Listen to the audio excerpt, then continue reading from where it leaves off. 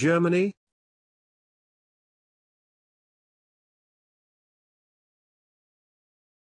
Germany is a Western European country with a landscape of forests, rivers, mountain ranges and North Sea beaches.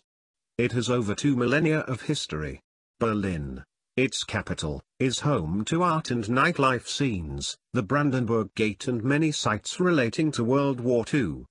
Munich is known for its Oktoberfest and beer halls, including the 16th-century Hofbräuhaus. Frankfurt, with its skyscrapers, houses the European Central Bank.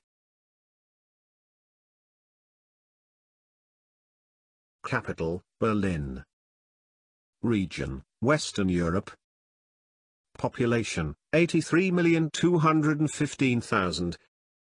Germany, officially the Federal Republic of Germany, is a federal state in Central Europe.